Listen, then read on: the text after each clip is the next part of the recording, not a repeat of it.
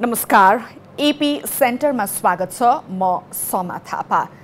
अर्थतन्त्रका सूचकहरू नकारात्मक बनिरहेको र हामी खराब अर्थतन्त्रतर्फ गइरहेको भनेर सर्वत्र चासो र चिन्ता व्यक्त भइरहेको छ। यही बिचमा अर्थमन्त्री जनार्दन शर्माले अर्थतन्त्रका सूचकहरू केही मात्र नकारात्मक देखिए पनि समग्रमा स्थिति काबुभित्र रहेको र यस्ता नकारात्मक हल्लाले आम जनता र व्यवसायीलाई तर्साउने भनेर अभिव्यक्ति दिनुभएको छ।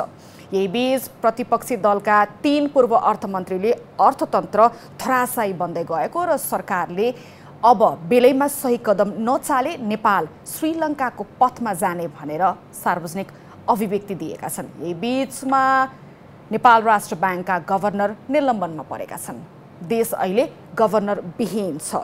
अर्थतन्त्रको आजको नेपाली आवश्यकता के हो र यो कुन बिन्दुमा छ र यसलाई पुनरुत्थानका लागि के गरिनुपर्छ?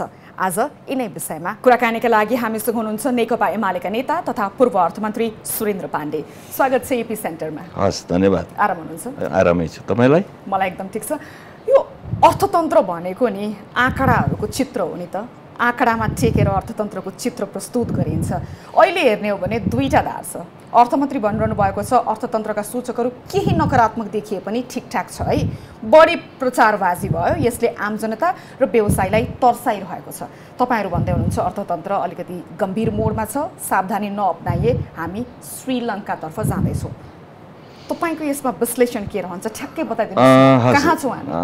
ठिक प्रश्न सोध्नु भएको छ। समय अहिले त्यस त्यही विषयमा नै देशमै देश नै यसैमा छलफलमा व्यस्त छ। तपाईँहरू मात्रै होइन कि? सिङ्गो देश। ठिक भन्नुभयो तपाईँले। अर्थशास्त्र भनेको चाहिँ अङ्कमा व्यक्त हुन्छ। राजनीति चाहिँ भाषामा व्यक्त हुन्छ। जब तपाईँ भाषामा व्यक्त गर्नुहुन्छ त्यही कुरालाई त्यो राजनीति बन्छ। त्यसलाई आँकडामा प्रस्तुत गर्नुहुन्छ गर्नुहुन्छ त्यो अर्थशास्त्र बन्छ। अहिले के छ त स्थिति भनेर हेर्नुभयो भने हाम्रो यो वर्ष जुन रूपले आयात बढिरहेको छ त्यसलाई सामान्य हिसाबले नै त्यो आयातलाई निरन्तरता दिने हो भने झन्डै साढे बाइस खरब आयात पुग्छ भन्ने अनुमान राष्ट्र ब्याङ्क अर्थ मन्त्रालय वाणिज्य विभाग आदिले गरिरहेका थिए। तर पछिल्लो समय केही समयदेखि दुई महिना अढाई महिनादेखि केही नियन्त्रणात्मक तरिकाहरू चाहिँ राष्ट्र ब्याङ्कले अवलम्बन गर्यो। खास गरी फरेन करेन्सी लानलाई अलिकति रेस्ट्रिक्सन गर्ने तरिका अवलम्बन गरेको हुनाले अहिले पनि यो बिस खरब नाग्छ भन्ने अनुमान छ। त बिस खरब नाग्यो भने के स्थिति पैदा हुन्छ होला? भन्दा त्यसलाई कसरी परिपूर्ति गर्ने? त्यसको सोर्स के? बिस खरब साढे बिस खरब विदेशी मुद्रा हामीसँग कसरी हुन्छ त? पहिलो हाम्रो चाहिँ विदेशी मुद्राको सोर्स हो एउटा हाम्रो निर्यात। निर्यात हाम्रो डेढ खरबको आसपास हुने स्थिति छ। दोस्रो हाम्रो चाहिँ सोर्स हो रेमिटेन्स त्यो भारतबाट र बाहिरबाट आएको दुइटै जोड्यो भने नौ साढे नौ खरब हुन्छ। किन दुई हजार उन्नाइसको हाम्रो आँकडामा के छ भने टोटल राजस्व के अरे रेमिटेन्स भारतबाट हाम्रो एक खरब अठाइस अरब आयो टु थाउजन्ड नाइन्टिनमा त्यो निरन्तर घट्दो छ। र बाहिरको हाम्रो आठ खरबभन्दा प्लस थियो। जबकि नेपालको कस्तो अवस्था छ भने नेपालबाट भारतमा रेमिटेन्स लिएर जानेहरू चार खरब लिएर जाँदो रहेछ दुई हजार उन्नाइसको रेकर्ड हाम्रो चाहिँ भित्र पस्ने चाहिँ त्यो त अलग अलग होला तर हाम्रोबाट हाम्रोमा आउने एक खरब अठाइस अरब उता जाने चार खरब छ उन्नाइसमा। यस वर्षको हेर्दा पनि त्यही एक खरबमा केही प्लस होला। त्यसमा त आठ नौ आठ आठ के अरे नौ साढे नौ खरब हाम्रो रेमिटेन्स आउँछ। यसलाई यता निर्यातलाई जोड्नु पनि एघार खरब होला। अब बाँकी तपाईँले साढे दस साढे नौ खरब कहाँबाट ल्याउनुहुन्छ? त्यो ल्याउने अरू स्रोत भनेको दुई तिनवटा छन्। एउटा भनेको वैदेशिक सहायता र ऋण हो। वैदेशिक सहायता कति भन्दा यस वर्ष तेह्र अरब आउँदैछ अहिलेसम्मको स्थिति। तेह्र अरबले कुनै ठुलो कन्ट्रिब्युट गर्ने स्थिति यसै पनि छैन। त्यत्रो ग्यापलाई। दोस्रो वैदेशिक ऋण हो। ऋणमा यस वर्ष हामीले ऋणको भुक्तानी तिर्नको लागि मात्रै चालिस अरब हाम्रो जाँदैछ। आयो बढी आयो एक खरब आउला। चालिस अरबै तिर्नुपर्छ भने त्यसले पनि हामीलाई ठुलै चाहिँ के भनेदेखि मद्दत गर्ने अवस्था छैन। तेस्रो एफडिआई हो विदेशी चाहिँ लगानी हो नेपालमा आयो भने त्यसले पनि विदेशी मुद्रा आउन सक्थ्यो त्यो पनि कुनै उल्लेख्य वृद्धि भइरहेको छैन। त्यो सँगसँगै फेरि अब आउने र जाने हाम्रो चाहिँ के भने ऋणको सामावाद भुक्तानीको लागि पैसा दिनु पऱ्यो विदेशी मुद्रामा। कसैले चाहिँ लगानी गर्न आएको छ भने उसको सानो ब्याज भुक्तानी लिएर गयो भने उसलाई फेरि डलरमै दिनु पऱ्यो हामीले। त्यो पाठो पनि छ। त्यसले हाम्रो ठुलो चाहिँ के भने विदेशी मुद्रा आर्जन हुने अवस्था छैन। अब अर्को भनेको हाम्रो चाहिँ टुरिज्म सेक्टर डोमेस्टिकभित्र चाहिँ बढी होटलहरूले चाहिँ डलर सटै सुविधा पाएका हुन्छन्। त्यसबाट त भनेर भन्ने हो भने त्यो पनि कोभिड र पोस्ट कोभिड एउटा चाहिँ सिचुएसनमा त्यो बढिरहेको छैन। झन् पछिल्लो समय युक्रेन वारको कारणले गर्दा पचास लाख मानिसहरू युरोपमै शरणार्थी भएर बसिया छन्। अब अहिले अमेरिका र युरोपको सम्पूर्ण ध्यान चाहिँ उनीहरूको टेक केयर गर्नेमा गएको छ भनेपछि पर्यटक आउने सम्भावना पनि छिट्छ। यस्तो स्थिति भयो भने अब तत्कालै चाहिँ हाम्रो चाहिँ फरेन करेन्सीको रिजर्भ बढ्ला त। भन्दा बढ्ने सोर्स हुन्छ नि। बढ्ने सोर्स हुँदा त खर्च गरौँ केही बात छैन आउँदैछ भन्न सकिन्थ्यो। आउने कुनै सुनिश्चितता छैन खर्चको चाहिँ तीव्रता चाहिँ एकदमै तीव्र रूपले चाहिँ गइ गइरहेको छ भनेपछि यसले यसैबाट तपाईँ भनौँ न एउटा जेनरल पिपुलले पनि यसबाट अन्दाज गर्न सक्छ कि हामीसँग आम्दानी र खर्चको अवस्था के रहेछ भन्ने हामी अनुमान गर्न सकिहाल्छौँ। ठिक छ यहाँनिर तपाईँले ती तर्कहरू प्रस्तुत गरिरहँदा अर्थमन्त्री भनिरहनु भएको छ कि जिडिपीको बाइस प्रतिशत मात्रै हो हामीले ऋण तिर्नुपर्ने त्यो खासै ठुलो आँकडा होइन र अहिले हेर्ने हो भने चाहिँ रुस युक्रेन युद्धको दबाब हामीले पनि झेलिरहेका छौँ। बाह्य प्रभाव बढ्यो है। हामीले चाहिँ खराब अर्थतन्त्रलाई नै डोर्याउँदै यहाँसम्म ल्याइ पुर्याएका हौँ। त्यस कारणले गर्दा पनि चाप परेको हो हाम्रो अर्थतन्त्रलाई। ऋणकै कुरा गर्दा दुई हजार चौहत्तर फागुनमा आठ खर्ब त्रिचालिस अर्ब जस्तो पचहत्तर असारमा नौ खर्ब भएको। हामीले ब्याड इकोनोमीलाई नै इन्हेरिट गरेका थियौँ। त्यस कारणले गर्दा हामी यहाँ आइपुग्यौँ। अर्थतन्त्र भने एक दिन एक महिना एक छाकमा ढल्ने अथवा बिग्रने विषय होइन भनेर तपाईँहरूतर्फै छ नि। तिनवटा कुरा मैले त्यसमा पनि भन्छु। पहिलो कुरा उहाँले बाइस खरब फरेन के अरे जिडिपीको ट्वेन्टी टू 22% चाहिँ बाइस प्रतिशत होइन। त्यो होइन त्यो गलत कुरा भन्नुभयो। अहिले चालिस क्रस गरेको छ हाम्रो लोनले। जुन कुरा चाहिँ सामान्यभन्दा अलि माथि नै छ। सत्र खरबभन्दा बढी त हाम्रो चाहिँ वैदेशिक ऋण नै छ होइन? डोमेस्टिक बोरिङ पनि छ हाम्रो। त्यसो हुँदा हाम्रो ऋण चाहिँ ऋणको मात्रा अरबभन्दा माथि नै छ त्यस हुनाले होइन। प्लसै छ र हाम्रो डोमेस्टिक बोरिङ पनि छ फेरि त्यो पनि एड गर्दाखेरिमा हाम्रो ऋणको मात्रा करिब चालिस प्रतिशत छ जिडिपीको बयालिस खरबको चाहिँ तपाईँ जिडिपीको हिसाब गर्नुभयो भने त्यो बाइस पर्सेन्ट हुन्छ कि हुँदैन तपाईँ आफै गर्नुहोस् अठारले अठार त्यहाँ चौन्न गऱ्यो भने तेत्तिस त यसै क्रस गर्यो बयालिस गर्दा त बाइस त हुँदै भएन त्यो कुनै म्याथमेटिक्स मिल्यो र मिलेन त्यसमाथि पनि डोमेस्टिक बोरिङलाई पनि एड गर्नुहोस्। झन्डै चालिस प्रतिशतको हाराहारीमा छ। दोस्रो चाहिँ पहिलेदेखि यो इनहेरिट भएर आएको हो।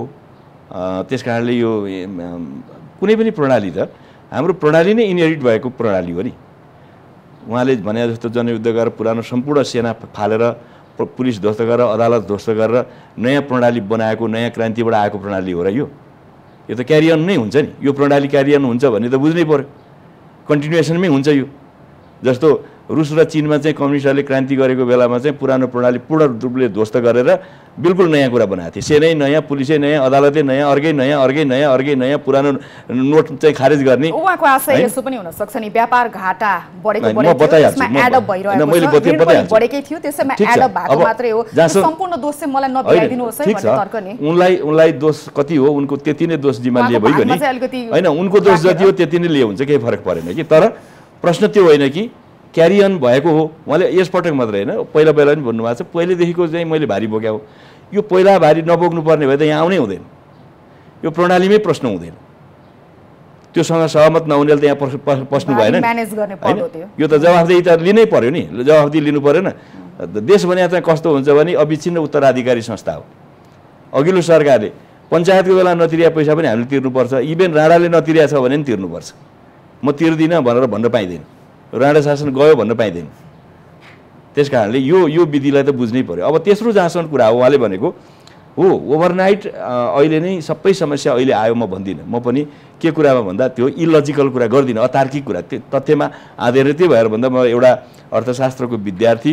यी सबै हेर्दा यो चाहिँ आजको आजको मात्रै कुरा हो भन्ने म ठान्दिनँ। तर के चाहिँ भएको हो सत्य उहाँले चाहिँ नगरेको कुरा चाहिँ के हो भने असार अट्ठाइसमा उहाँले सरकार बनाइसकेपछि उहाँ अर्थमन्त्री हुनुभयो। पोस्ट कोभिड सिचुएसन भइसकेको थियो देशमा। भनेको अलिकति सहज तङ्ग्रिन थालेको थियो। आयातको चाप बढिरहेको थियो। पैसाको माग बढिरहेको थियो। तर आम्दानीको कुनै बढोत्तरी हुने सम्भावना थिएन। यो त उहाँले ख्याल गर्नु पऱ्यो नि त्यो कुर्सीमा बस्ने बित्तिकै। अब यो स्पिड अप भयो भने म मेरो अर्थतन्त्रले धान्दैन भन्ने ज्ञान नभएको मान्छे त्यो कुर्सीमा बस्यो भने के हुन्छ? सबभन्दा धेरै चाहिँ असोजदेखि यता चाहिँ के भने आयातमा तीव्रता आयो। करिब बाह्र महिनालाई चाहिँ हाम्रो धान्ने पैसा थियो असारमा। अहिले हामीलाई चाहिँ छ साढे छ महिनामा भयो छ महिना। होइन? छ महिनामा धान्ने पैसा झऱ्यो। त्यो त्यो झरेको कसरी झऱ्यो त भन्दा यस बिचमा हाम्रो चाहिँ आम्दानीभन्दा देशभित्री नै पैसाभन्दा देश बाहिरी नै पैसा चाहिँ बढी भएको कारणले यो भयो। भनेपछि उहाँले त्यहाँ बसेपछि त्यो कुर्सीमा बसेपछि के थाहा पाउनु पर्थ्यो भने मेरो आम्दानी कति हुनेवाला छ?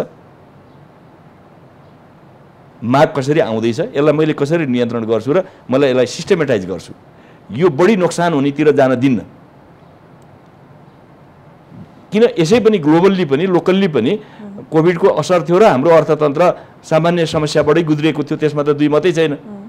तर त्यसो त्यस्तो कुर्सीमा त्यतिखेर बस्न जाने मान्छेले के ध्यान दिनुपर्छ भन्दा यो बढी जोखिममा नजाओस् र यसको सम्पूर्ण जिम्मेवारी मेरो टाउमा आइलाग्छ भन्ने बुझ्नुपर्छ पर्दैन। यसमा उहाँको प्राविधिक ज्ञान र दूरदर्शिताको कमी भएको हो। वा एक थरीले चाहिँ गभर्नर र अर्थमन्त्री बिचको यो टसल छ नि यो राजनीतिक भयो बढी पोलिटिसाइज गरियो यो सम्बन्धलाई।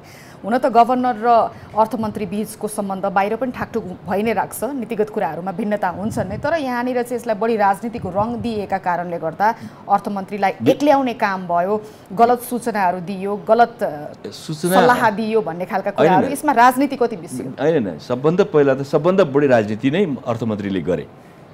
किन भन्नुहुन्छ भने असोजदेखि नै यो क्रम बढिरहेको थियो। आयात त उहाँले के गर्नुभयो त? त्यही दिनदेखि उहाँको टसल भयो र? उहाँलाई थाहा हुनु पऱ्यो नि। जस्तो भन्नुहोस् म पनि सरकारमा गएको बखत मैले भने मान्छे मान्छे टेर्ने मान्छे त गभर्नर थिएन। अर्कै सरकारले नियुक्ति गरे मान्छे थियो। अझ म हुँदा त गभर्नर निलम्बनमा परेर निमित्तले चाहिँ देश चलाइरहेको बेला थियो। म कति सङ्कटमा थिएँ भन्दा त्यस बेला नोट छाप्ने चाहिँ अधिकार पनि राख्दा रहन्छन् निमित्त गभर्नरले। एकातिर त्यो क्राइसिस आउँदै थियो। अदालतमा मुद्दा छ त्यो सेटल हुँदैन। पोलिटिकल्ली चाहिँ दसवटा भन्दा बढी सर पा पार्टीको सरकार छ ती मिल्ती छैन।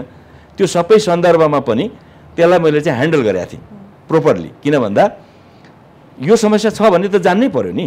गभर्नरलाई उहाँले भनेअनुसारको चाहिँ मन्त्रालयको कर्मचारी पनि होइन। मन्त्रालयको कर्मचारीलाई त मनपरी गर्न पाइँदैन। ल उहाँको खुसीले सरुवा गर्नु होला। गभर्नरलाई सर्ने सार्ने ठाउँ हुँदैन नि हुन्छ र? त्यो त आफ्नै स्वतन्त्र ऐनबाट चाहिँ सङ्गठित संस्था हो। होइन स्वायत्त। संस्था हो। त्यसलाई त्यही ऐनले नै बाँधेको छ। के गर्नुपर्छ र के गर्न हुँदैन र उसलाई जिम्मेवारी तोकिदिएको छ दायित्व तोकिदिएको छ। नगर्दा कारवाही गर्ने कुराको अर्कै प्रक्रिया छ। अर्थमन्त्रीले यो बिचमा चाहिँ भन्नु पऱ्यो नि मैले यो यो काम चाहिँ भने त्यो चाहिँ काम गरेन न चाहिँ गभर्नरले। कुनै एउटा तपाईँले सुन्नु भएको छ? केही पनि देखिँदैन। गोप्य सूचना अहिले? गोप्य सूचना त अहिले गोप्य सूचना चाहिँ अहिले पछिल्लो समय जो सार्वजनिक भएको छ नि अमेरिकाबाट कसैको पैसा आयो त्यो पैसा चाहिँ के अरे रा राष्ट्र ब्याङ्कलाई अमेरिकाले त्यो पैसा नदिनु त्यो चाहिँ इलिगल्ली गएको पैसा हो त्यसलाई रोकेर मेरै देशमा फर्काउनु भएर उसले चिठी लेख्यो।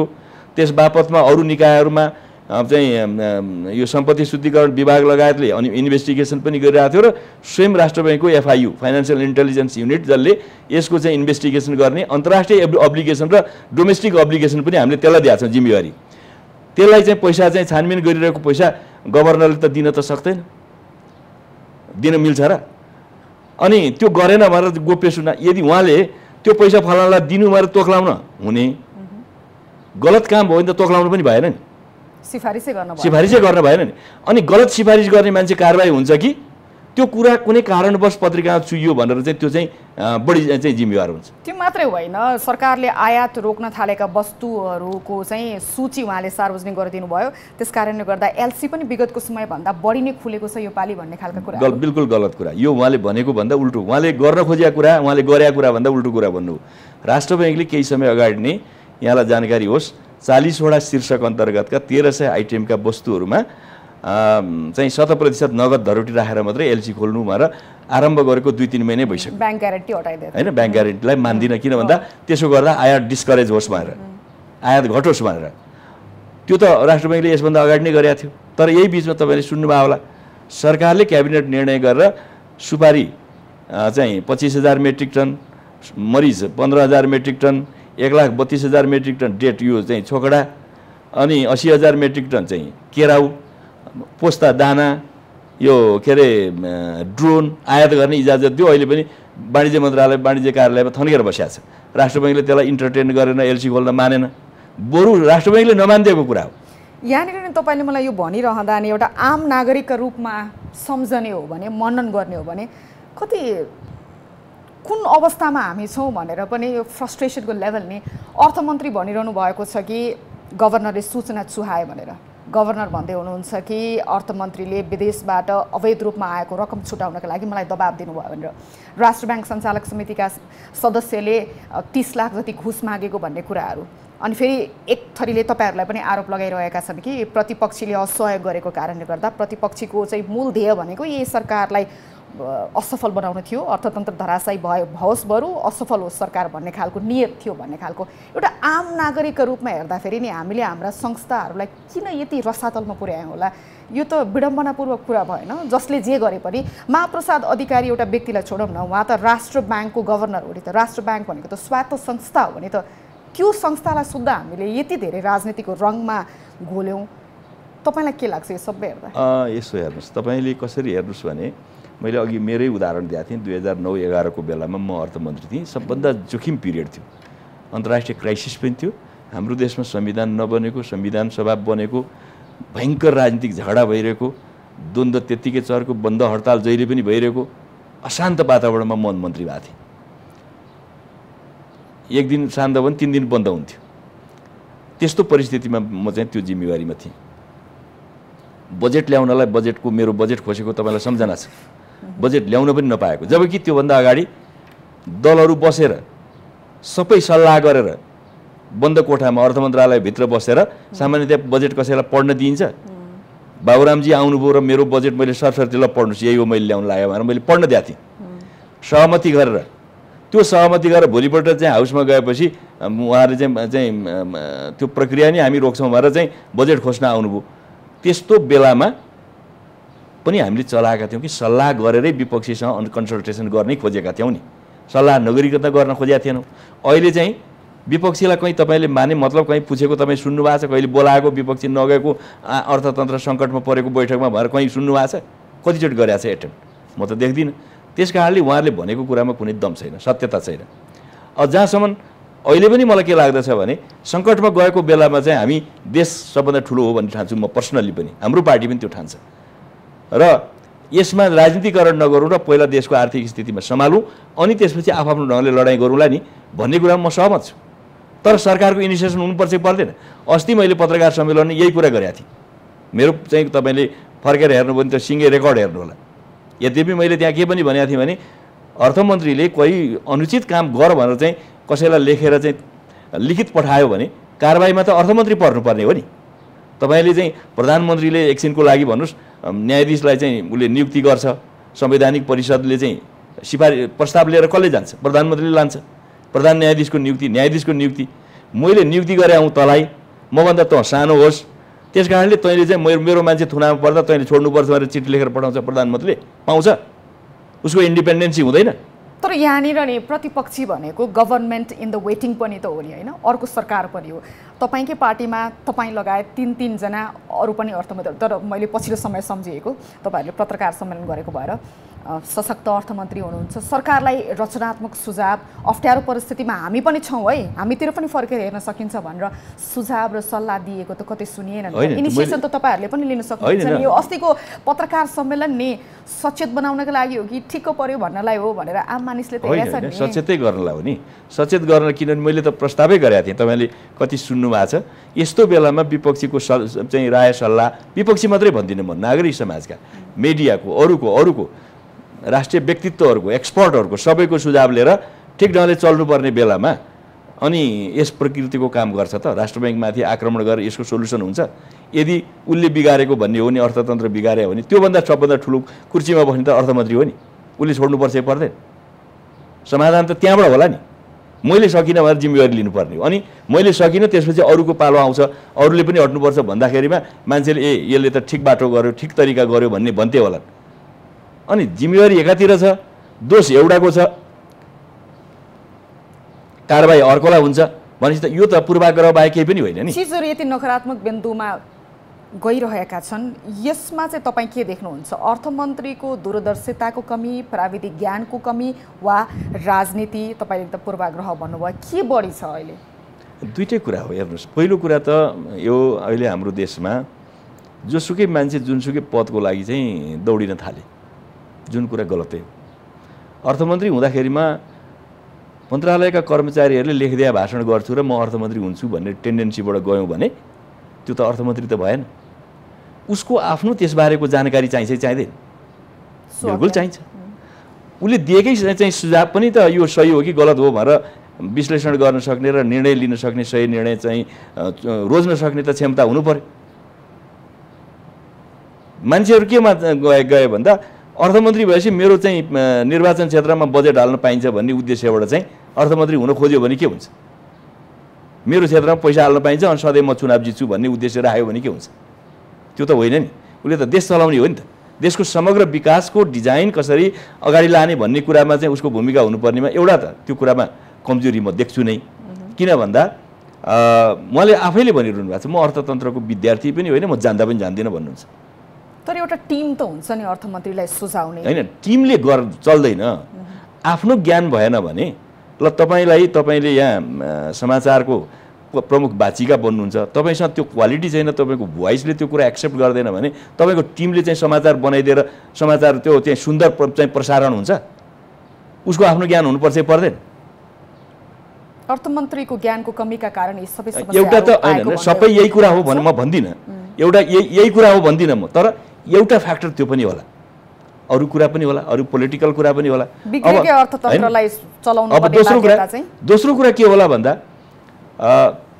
मान्नुहोस् मान्छेको नेतृत्व क्षमता त्यसरी टेस्ट हुन्छ जसले बिग्रियालाई पनि सपार्न सक्छ। कठिन समयमै कठिन समयमै उसको टेस्ट हुन्छ। हुन्छ नि त। यस्तो अवस्था थियो उसले चाहिँ यसरी सपार्यो। यो क्षमता राखेर गयो भनेर भन्न सक्यो भने त उसलाई त स्याबासी दिन्छन् नि मान्छेले। ठिक छ। होइन होइन भने त अनि चिज यस्तो छ दोष अर्कोतिर पन्छाएर हुन्छ र। एउटा भन्छ नि मैले हिजो मात्रै एउटा ज्याकमाको चाहिँ प्रस्तुति सुनिरहेको थिएँ। चिनका असाध्य धनी मान्छे। उनले के भन्छन् भने सफल मान्छे त्यो हुन्छ जसले गल्ती नगर्ने भन्ने नै हुँदैन। तर सफल त्यो मान्छे हुन्छ जसले सबभन्दा पहिला यो गल्ती मैले गरेर म यो गल्ती सच्याउँछु र यहाँबाट यहाँ पुग्छु भनेर जब आत्म उसले आफूलाई खोतल्छ। तब मात्रै त्यो सफलता प्राप्त गर्छ। जब दोष अर्कालाई जिम्मा लाउँछ त्यो कहिले सफल हुँदैन। त्यो असफल मान्छे हो भन्छ। ठिक छ। सरकारले अलिकति भए पनि गल्तीलाई रियलाइज गर्दै अर्थतन्त्रलाई अलिकति पुनरुत्थान गर्नका लागि यो केही रेमेडीहरू ल्याएको छ नि। उसले भनिरहेको छ दुई दिन सार्वजनिक बिदा दिने भनेर अब। विलासिताका वस्तुहरूको आयातमा कडी कडाउ गर्ने सम्भवतः चाहिने नचाहिने त दुई चार महिना रोक लगाउँ भन्ने खालका कुराहरू। तपाईँलाई के लाग्छ? यो अर्थतन्त्र सुधारका लागि सरकारले अघि सारेका उपायहरूले कति काम गर्छ? अनि केही केही काम गर्दै गर्दैन भन्दिनँ म। केही काम गर्ला तर यो मात्रै कुराले सोल्युसन अल्पकालीन मात्रै हो यो। यसले सोल्युसन गर्दैन। सोल्युसन के हो भने हाम्रो अर्थव्यवस्थाभित्रको या हाम्रो विकास प्रणालीभित्रका केही गम्भीर दुईटा पक्ष छन्। अर्थ प्रणालीभित्र हाम्रो प्रोडक्सन किन बढेन? हाम्रो फ्याक्ट्रीहरूको चाहिँ विकास किन भएन? रोजगारीको किन विकास भएन? किन नेपालमा हामीले चाहिँ इभेन एग्रिकल्चरकै पनि के भने हाम्रो विकास किन भइरहेको छैन उत्पादन किन बढिरहेको छैन निरन्तर हामी इम्पोर्टमा आधारित भएर गइरहेका छौँ। यो चिजमा के गर्दा कस्तो कठोर कदम चाहिन्छ? यसको टुङ्गो गरेर त्यसबारेमा दुईवटा कुरा। एउटा ठिक र व्यवस्थित कार्यक्रमको घोषणा। दोस्रो त्यसको इम्प्लिमेन्टेसन र मोनिटरिङ गर्ने एजेन्सिजहरूको चाहिँ प्रभावकारी मोनिटरिङ गर्ने। तपाईँले प्रभावकारी मोनिटरिङ मोनिटरिङ गर्ने एजेन्सी पनि छैन इम्प्लिमेन्ट गर्ने एजेन्सी पनि छैन भने तपाईँले जतिसुकै राम्रो घोषणा गर्नुहोस् त्यसको केही पनि अर्थ हुँदैन। त्यो। जान्छ। तपाईँको मान्छेले गरेको भने तपाईँले कारवाही गर्ने आँट गर्नु पऱ्यो नि। मेरै मान्छेले नक्कली चाहिँ के भने फर्म खडा गरेर कृषि लोन चाहिँ लिन खोज्छ भने मैले लगेर चाहिँ जेल हाल्नु परेको परेन। अनि ए मेरो पार्टीको मान्छे पऱ्यो भनेर चाहिँ उसलाई चाहिँ अझ मेरो पार्टीकै मान्छे गएर चाहिँ लिनु काम गर्ने भन्दा चाहिँ नगर्ने पार्टीका मान्छेलाई मात्रै दौडेर ऋण लिनु भनेर अथवा अनुदान लिन चाहिँ हामीले चाहिँ प्रेरित गऱ्यौँ भने के हुन्छ? नक्कली कागजमा चाहिँ अनुदान गयो भने त उत्पादन त बढ्दैन। त्यस हुनाले हाम्रो एजेन्सिजहरू इम्प्लिमेन्टिङ गर्ने एजेन्सिजहरूको पनि त्यो अनुसारको स्ट्रङ कुरा हुनु पऱ्यो र त्यसको मोनिटरिङ पनि त्यही अनुसार हुनु पऱ्यो नगर्दाखेरिमा कारवाही र दण्डका व्यवस्था चाहिँ कठोर गर्नु पऱ्यो त्यसो नगरिकन यो सुधार हुँदै हुँदैन। अब दोस्रो चाहिँ तपाईँको जुन डेभलपमेन्ट आयोजनाहरूको पनि मैले के देख्छु भने यसमा हामीहरू रिथिङको जरुरत छ। त्यो भनेको के भने हाम्रो पैसाको बास्केटमा पैसा चाहिँ कम छ। तर जम्मै काम अहिले गर्छु भनेर घोषणा गर्छ। जम्मै काम त्यो पैसाले हुन्छ कि हुँदैन त्यस अवधिमा। अथवा हामीलाई चाहिने काम गरिरहेको छौँ कि छैन? होइन जस्तो मानुस चाहिने त जम्मै चाहिने होला के तर त्यसको पनि प्राथमिकता हो प्राथमिकता। किन भन्दा आज तपाईँको पैसाले सबभन्दा बढी रिटर्न लिनुपर्ने कुरो हो कहाँ चाहिँ लगानी गर्ने? जस्तो मानुस हामीसँग चौबिसवटा चाहिँ राष्ट्रिय गौरवका आयोजना छन्।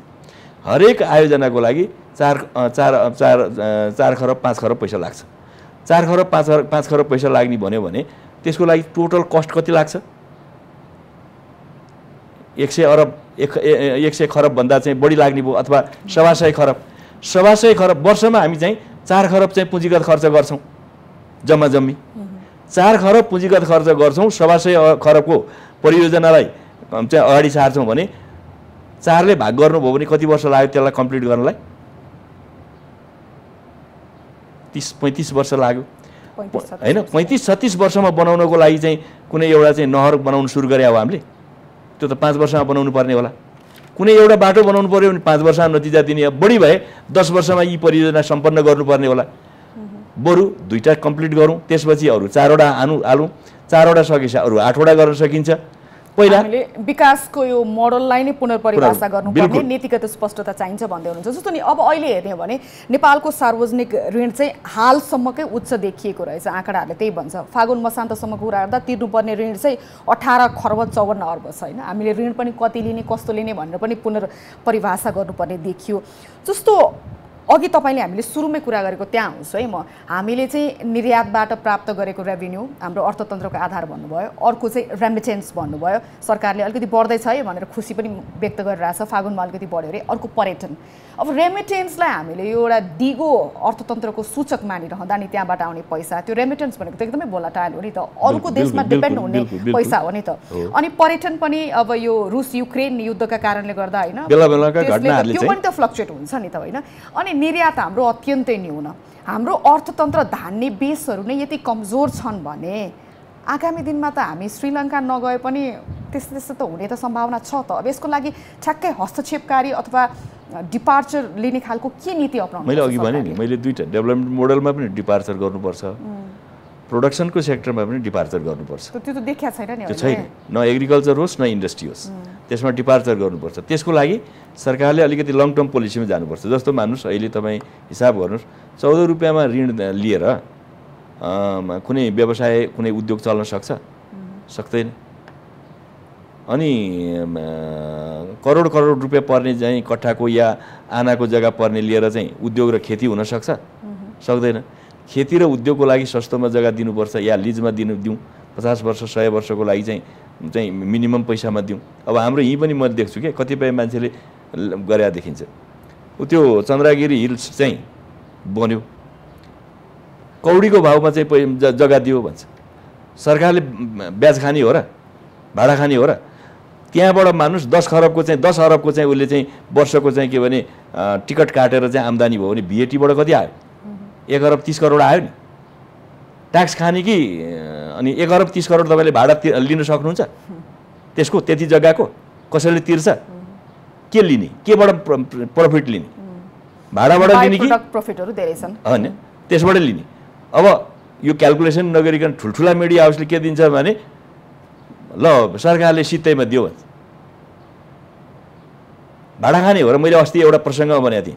ब्याज खाने भाडा खाने र तलब खाने मेन्टालिटीबाट हाम्रो देश पछाडि परेको छ। तलब किन खाने भन्दा आफू व्यवसाय नगर्ने आफू गर्दा डुब्यो भने कसले को जवाबदेही ऋणको भारी बोक्नुपर्छ। अर्काले गरोस् न ऋण उसैले बोकेर बसोस्। म चाहिँ उसैलाई उसको फ्याक्ट्रीमा काम गर्छु उसको चाहिँ के भनेदेखि काम चाहिँ अफिसमा काम गर्छु हडताल मात्रै गर्छु बरु। तलब बढा भनेर त्यही त यो विडम्बना छ? जस्तो हामी कहाँ अहिले आँकडा हेर्ने हो भने सन्ताउन्न प्रतिशत चाहिँ वर्किङ फोर्स छ क्या हामीसँग। यो ठुलो तागत हो नि। तर हामी त्यसलाई काम दिनु पर्यो नि। रेमिटेन्स यति आयो त्यो काम गर्नको लागि काम चाहिँ के हुन्छ भने उसमा एउटा हामीले पोजिटिभ सिकाउनु परेन। पहिला तपाईँले बिजनेस इस्टाब्लिस हुन दिनुहोस्। त्यो इस्टाब्लिस बेगर तपाईँले चाहिँ अधिकारका कुरा बढी गर्नुभयो भने यो चल्दैन टिक्दैन भन्ने कुरा बताउनु पर्छ पर्दैन। त्यसो गऱ्यौँ भने नि त्यो पनि चल्छ अनि हाम्रो पनि बिस्तारै बढ्दै जाला नि। किन चाइनामा हिजो चाहिँ सबभन्दा धेरै लगानी गयो विश्वव्यापी रूपमा भन्दा एउटा स्टेबिलिटी थियो। त्यहाँ कुनै किसिमको हडताल हडताल बन्द केही पनि हुँदैन थियो। दोस्रो एकदमै सस्तोमा लेबर पाइन्थ्यो। तिनले हडताल गर्न नजानेर हो र। तर गर्न दिँदैन थियो सरकारले। हामीमा के भन्छौँ भने हाम्रो त डेमोक्रेसी हो लड लड्न दिनुपर्छ। हाम्रो पार्टीहरूले त्यही इन्करेज गर्छौँ हामी। तर सरकार र राजनैतिक दलहरूले पनि ट्रेडिङलाई बढी प्रोत्साहन गर्ने होइन? जस्तो आन्टरप्रेन्योरसिप औद्योगिकरण उद्योग व्यवसाय भन्ने बित्तिकै कति धेरै झन्झटहरू मानिस पहिलो चरणबाटै फ्रस्ट्रेट भएर ए योभन्दा त बरु म सामान ल्याउँछु चार रुपियाँमा किनेर दस रुपियाँमा बेच्छु त्यो बिचको नाफा सबै मेरो भयो अलिकति दिउँ न त पोलिटिकल वृत्तलाई भन्ने खालको मनस्थिति छ नि पोलिटिकल ट्रेडिङलाई हामीले पोलिटिकल वृत्त पनि यसमा जोडिएको होला। सबभन्दा धेरै त हाम्रो ब्युरोक्रेसीले आजको समयको स्मार्टनेस देखाउन सकेका छैन। किनभने मैले भने नि व्यवसायीको छोरा चाहिँ त्यहाँ जागिर खान जान्थ्यो भने उसले व्यवसाय बुझेर जान्थ्यो। बाउ कर्मचारी छ भने कर्मचारीको छोराछोरी कर्मचारी भएर त्यहाँ गयो भने उसले त उही कर्मचारी मेन्टालिटी बोकेर जान्छ। किसानको छोराछोरी त्यहाँ गएको छ भने उही कृषिको मेन्टालिटी बोकेर जान्छ। किसान त अहिले नेपालमा के छ भने अनुभवमा आधारित खेती हो नि ज्ञानमा होइन नि। नलेजमा आधारित खेती गर्छ र। संसारले केमा गरिरहेछ? नलेजमा आधारित खेती गर्छ। ज्ञानलाई त प्रवर्तन गर्नु प्रवर्तन गर्नु पर्यो। त। तर ऊ अनुभवकोहरूमा अब चैत वैशाख लागेको छ है पानी पऱ्यो अब मकै छर्ने भने जस्तो। अब त्यही ट्रेडिसनल हिसाबको मात्रै छ। जागिर पनि त्यही छ। अघिल्लो पुस्ताले के गर्यो त्यही गर्छु भन्ने छ। यस कारणले अब यसलाई बदल्नुपर्छ। भन्यो नि यो होल सिफ्टिङ गर्नको लागि सबभन्दा पहिला राजनीतिक नेतृत्वमा नै त्यो चेतना हुनु जरुरी छ। तपाईँले भनेको कुरा सही हो कि राजनीति करेक्सन भएन भने त्यसो हुनाले भनिन्छ नि नीतिको राजा चाहिँ राजनीति हो। मुहान नै सफा होइन? सफा हुनु पऱ्यो सफा मात्रै होइन भिजन पनि हुनु पऱ्यो कतिपय मान्छेले सफा भन्ने करप्सनको एङ्गलबाट हेर्छन्। मैले सबभन्दा पहिलो त उसको भिजन क्लियर हुनु पऱ्यो भिजनभित्र त त्यसको एउटा पार्ट हो नि। भ्रष्टाचारले पनि दुःख दिएको छ भन्ने त त्यसको सानो अंश हो। सबभन्दा उसको दृष्टिकोण क्लियर हुनु पऱ्यो नि। मेरो देश कसरी बनाउने? तर राजनीतिक नेतृत्व अहिले फेरि त्यही बिचौलियाकै कमिसनमै रमाइरहेछ। चुनावमा ठुला ठुला कमिसन त्यही ट्रेडरहरूले नै दिन्छन् होइन। उनीहरूले उनीहरूलाई नै रिजाउँदैमा फुर्सद छैन। अब चुनाव आयो चुनाव यति महँगो भएको छ। यो सबै नेक्सस त जोडिया छ नि। व्यापारीले। राजनीतिज्ञलाई। आफ्नो स्वार्थ अनुरूप चलाउने राजनीतिज्ञले पनि व्यापारीलाई आफ्नो भोट सेक्योर गर्नको लागि चुनाव लड्नको लागि प्रयोग गर्ने। यो नेक्सस यो नेक्सस संसारभरि जहाँ पनि हुन्छ। अमेरिकामा छैन।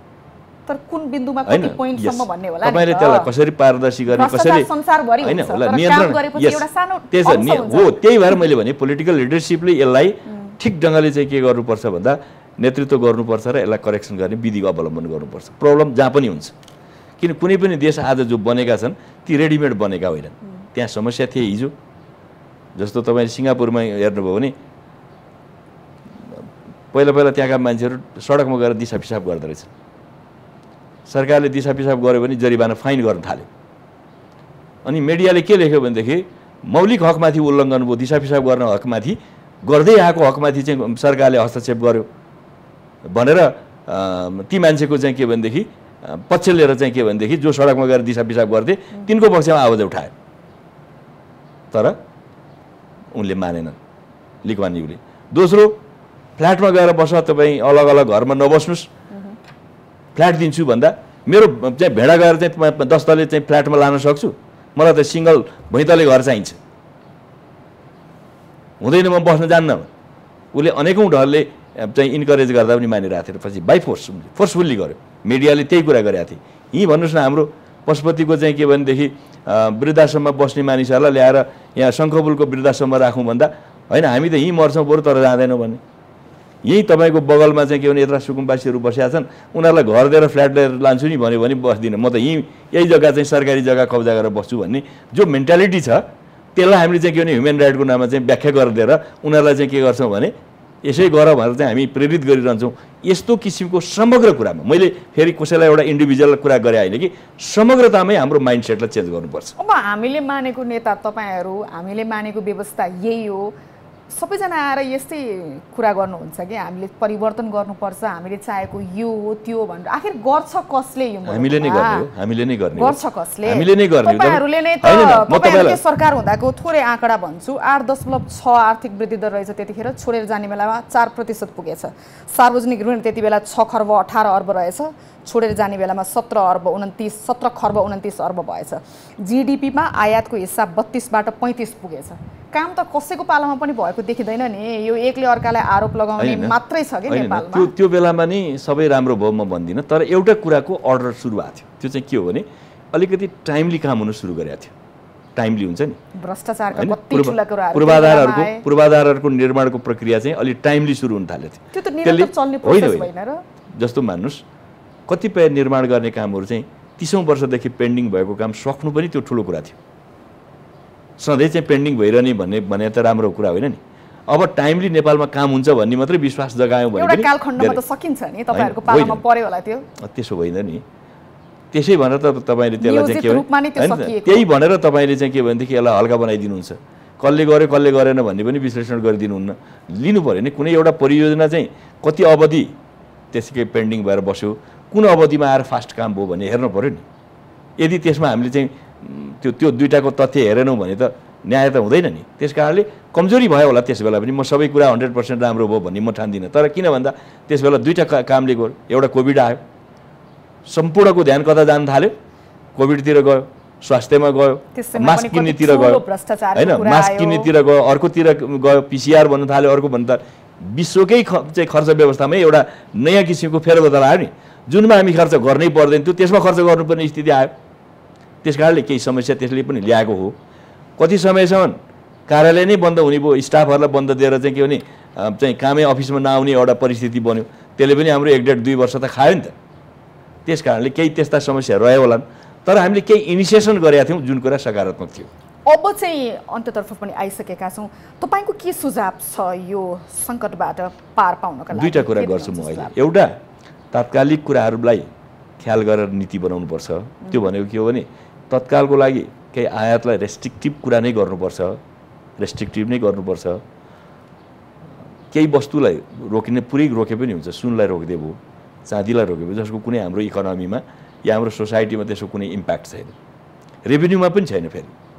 किन एकदमै नेग्लिजिबल रेभेन्यू छ खालि फरेन करेन्सी मात्रै जान्छ। दोस्रो कुरा होला हामीले गाडीलाई पनि केही नियन्त्रण गर्नुपर्ने होला त्यसको इम्पोर्ट रोक्नुपर्ने होला। हामीसँग प्रशस्त गाडी छ।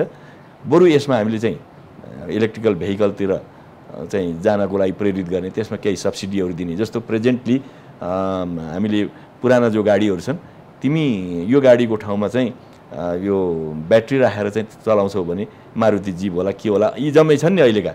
यी जम्मैलाई चाहिँ तपाईँले चाहिँ रिप्लेसमेन्ट गर बरु म त्यसमा सब्सिडाइज गरिदिन्छु। या छिटो चाहिँ प्रक्रिया चाहिँ के भने अगाडि बढाइदिन्छु। त्यसो भयो भने ब्याट्रीबाट चल्न थाल्यो भने हाम्रो बिजुलीको कन्जम्सन हुन्छ। अब स्पिल ओभर इफेक्ट हुन्छ अब बर्खामा हामी फाल्नुपर्छ भनेरकोमा हामी त्यसलाई फाल्नु नपर्ने पनि हुन्छ। हाम्रो आफ्नै डोमेस्टिक कन्जम्सन बढेर जान्छ आयातलाई त्यसले रेस्ट्रिक्सन आयात घटाउने भयो त्यसले हामीलाई फाइदै गर्छ। तेस्रो हामीले हाम्रो देशैभित्र पनि के गर्नुपर्ने होला भन्दा जस्तो अब बिजुलीको चाहिँ बढ्दो बढ्दो उत्पादन छ कन्जम्सन नहुने हो कि भन्ने चिन्ता छ। इन्डियामा बेच्न खोज्यो भने उसले के भन्छ भने दुईवटा चाहिँ विद्युत परियोजनाको मात्रै किन्छु भन्यो केही समय अगाडि। एउटा चाहिँ देवीघाटको अर्को त्रिशुलीको। अहिले भर्खरै त्रि तिन सय पच्चिस थप पनि किन्छु भनेको छ। तर त्यतिले मात्रै नहोला भोलि हामी त्योभन्दा बढी उत्पादन गऱ्यौँ भने अनि उसले चाहिँ एउटा त हामीले चार पाँच रुपियाँमा बेच्नुपर्छ। त्यस्तो स्थितिमा नेपालभित्रैका उद्योग धन्दालाई यदि उद्योगमा लगाउँछौ यति मान्छेभन्दा बढी रोजगारी गर्छौ भने चार पाँच रुपियाँ नेपालीमा तिमीलाई दिन्छु भनेर किन नभन्ने इन्डियामा बेच्नु हुँदाखेरि नेपालमा दिनु हुँदैन उद्योगलाई। त्यसो गऱ्यौँ भने हाम्रो इम्पोर्ट घट्ला हाम्रो उत्पादन बढ्ला त्यसले निर्यातलाई सघाउला रोजगारीलाई पनि सघाउला इकोनोमिक ग्रोथलाई पनि सघाउला। त्यसमाले केही इमिडिएट सर्ट टर्म केही अलिकति लामो योजना। अथवा एग्रिकल्चरमै हामीले के भन्नु पर्ला भने उत्पादन यदि तिमीहरू बढाउँछौ भनेदेखि खेतीमा अरूमा सर्टेन कुराको हामी सब्सिडाइज दिन्छौँ। किनभने इन्डियामा झन्डै तिस प्रतिशत सब्सिडी दिएको छ। हाम्रो यहाँ जम्मा पाँच प्रतिशत चाहिँ के भने आयाम चाहिँ इम्पोर्ट शुल्क लागेको छ। अनि कसरी हाम्रो चाहिँ यहाँको चाहिँ किसानले चाहिँ कम्पिट गर्न सक्छ? सक्दै सक्दैन यो चाहिँ कि त आयातमा कर लगाइदिनु पर्यो। खाद्य वस्तुमा। जसले गर्दा बाहिरको आयात महँगो होस् र हाम्रो डोमेस्टिक उत्पादनमा त्यसले इन्करेज गरोस्। होइन भने उताबाट ल्याउने यहाँ चाहिँ नेपालको केरा भएर बेच्नुपर्ने स्थिति भयो भने त? सबै उपायले नि केही न केही आम मानिसलाई असर त गर्छ होला। केही समय मानिसहरू सेक्रिफाइस पनि गर्न तयार होलान्। तर सरकारले पनि ल्याएको छैन। तपाईँ प्रतिपक्षीले पनि भनिरहेको छैन। यो सरकार मितुबै बन्ने अभ्यास हुन्छ नि। जस्तो सरकारी काम कारवाहीमा धेरै लिकेजहरू छ भ्रष्टाचारका कुराहरू छ होइन? सरकारी स्रोत साधनको। दुरुपयोग चाहिँ। सधैँ हुनुपर्ने कुरा। अब अहिले। बजेटमै आउँदाखेरिमा नै के हो भने म चाहिँ चाहिँ यसपालिको खर्च कटौती गर्छु भनेर आएको छु। यो बजेटमै हेर्नुहोस् त। खर्च कटौती सबभन्दा हाई साउन्ड गरेर आएको छ। गाडी किन्ने पनि बढेकै छ अर्को कुनै पनि बढेको छ। के कहाँ चाहिँ खर्च कटौती भयो त? गर्नै पर्छ। मितव्ययता भने? मितव्ययताको अरू पनि तरिका अरू होइन एउटा तपाईँले भने जस्तो। करोडको गाडी त्यसलाई रोक्नु पर्यो। त्यति मात्र होइन। बरु? ठुला बस गरे या युरोपले जस्तो युरोपमा तिनवटा कुरा तपाईँले पाउनुहुन्न। हामीले गरे हुन्छ भन्छु म। तिनवटा चिज तपाईँको त्यहाँ तिनवटा खालका जागिरी पाउनुहुन्न। एउटा टाइपिस्ट पाउनुहुन्न। हर व्यक्तिले टाइप जाने आउनुपर्छ। अनि नजान्ने मान्छे किन जागिर खान आउने भन्छ? ऊ सिकेर आउनु सिकेर आउनु पर्यो। होइन? त्यो फेरि धेरै समय लाग्ने होइन। दुई महिना तिन महिनामा गर्दा सिक्न जान्ने कुरा चाहिँ अनि तिनले नसिकिकन जानुपर्ने हो र। दोस्रो ड्राइभर पाइँदैन। हर मान्छेले आफै ड्राइभ गर्नुपर्छ। तेस्रो पिएन भन्ने हुँदैन। छेउमा चाहिँ? छेउमा चाहिँ होइन। यसो चाहिँ इलेक्ट्रिकमा चाहिँ यसो टुपिनमा पानी चाहिँ यसो गर्ने ती पानी तताउने। हाल्ने खाने गिलास आफैले बेसिनमा माझ्ने। मोस्टली त्यो। यस्तो खालका कुराहरू नेपालमा पनि जरुरी छ र जस्तो गाडी किन गर्ने। अहिले हाम्रो एउटा अहिले पछिल्लो समय बढी नै गा गाडीको आयात भएको अर्को हाम्रो स्थानीय तह छ। मेयर र उपमेयर दुइटा गऱ्यो भने सात सय त्रिपन्न दुना चौध सय पन्ध्र सय होइन। सोह्र सय यो टेन्डेन्सीलाई बरु तिमीहरू गाडी किन्छौ भनेदेखि तिमीहरूलाई हामी इन्स्टलमेन्टमा दिन्छौँ। तिमीहरूको सकिने बेला इन्स्टलमेन्ट पनि तिर लिएर पनि जाऊ।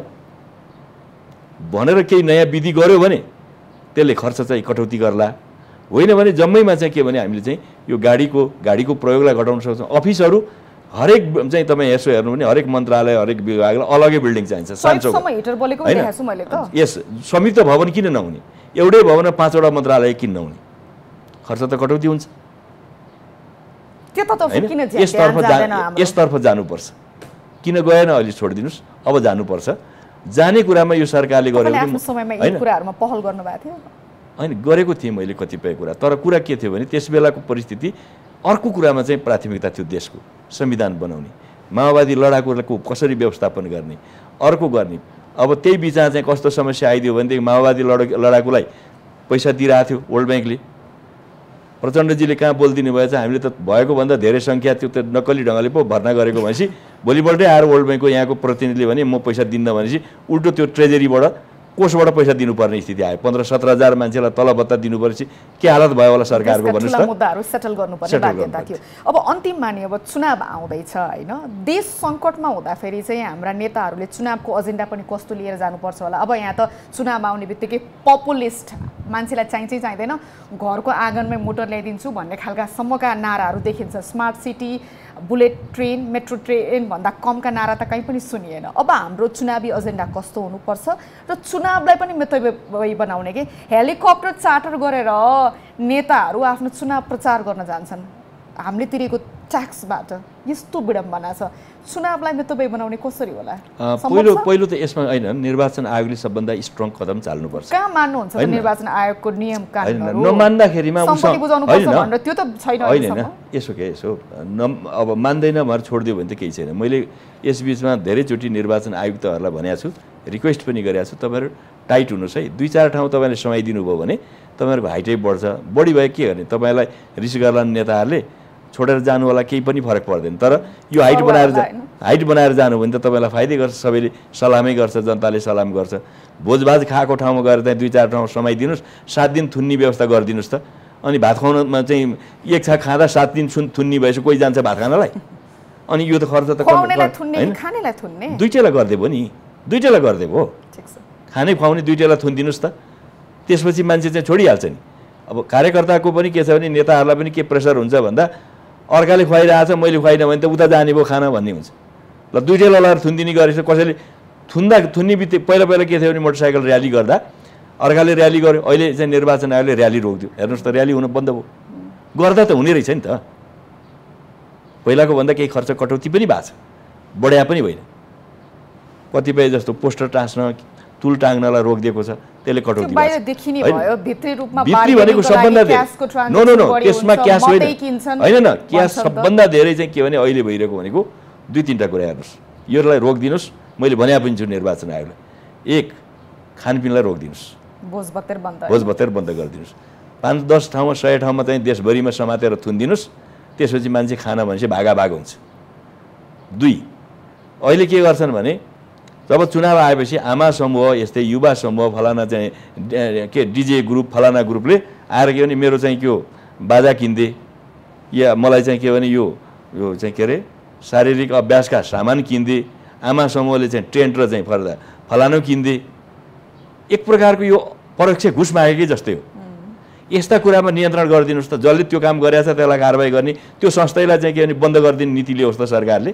कसले माग्न जान्छ? भनेपछि हाम्रो समाज व्यवस्था पनि त्यस्तै छ। समाजको एटिच्युड पनि के छ भने निर्वाचन आएपछि माग्नुपर्छ भन्ने एटिच्युड छ। उम्मेदवारलाई त रुवाएरै छोड्छन्। हो यो चिजबाट चाहिँ समाजले पनि त माथि उठ्नु पऱ्यो नि। म दिन्न है भन्ने हिम्मत पनि त नेताहरूमा छैन नि। यो छ। होइन दिन्न भन्ने पनि होला नि त। सबैले दिएका छन् र। सबैले दिएको भए त सबै चुनाव जित्दैन नि त। नदिने पनि छन् नि। तर प्रश्न के हो भने त्यो बाध्यता छ। समाजको पनि बाध्यता समाजले क्रिएट गरेको बाध्यता छ। समाज त्यसको लागि त्यसबाट अलग हुन सक्दैन कि। समाजभित्र यो राज्य व्यवस्था छ पुलिस छ हामी छौँ सबै छौँ नि। मैले त पोलिटिकल साइन्सको एउटा विद्यार्थीको हिसाबले के भन्छु भने समाजको एक्सटेन्डेड रूप हो राज्य भने चाहिँ। समाजबाटै उत्पत्ति भएको नि राज्य भने। पहिले त कुनै बेला त राज्य भन्ने थिएन नि पुलिस भन्ने थिएन अर्को थिएन राजा हुँदैन थिए मन्त्री हुँदैन थिए। समाजबाट विकसित भएको हो नि। त्यस कारणले समाजलाई हामीले चेन्ज गर्दै गयौँ भने राज्य व्यवस्था पनि चेन्ज हुँदै जान्छ। आशा छ चेन्ज हुन्छ भन्ने। हुन्छ। यही सकारात्मक नोटमा यहाँलाई समय र विचारका लागि धन्यवाद। हस् धन्यवाद। नेपालको नेपालको अर्थतन्त्र धराशयी बन्दै गएको। अर्थतन्त्रका सूचकहरू नकारात्मक देखिएको भनेर सर्वत्र चिन्ता र चासो व्यक्त भइरहेको छ। अर्थतन्त्र उकास्नका लागि के गरिनुपर्छ? सरकारले के कदम चाल्नुपर्छ? यिनै विषयमा आज हामीले कुराकानी गऱ्यौँ अर्को हप्ता अर्को विषयका साथ उपस्थित हुने नै छौँ। तबसम्मका लागि विदा दिनुहोस्। नमस्कार।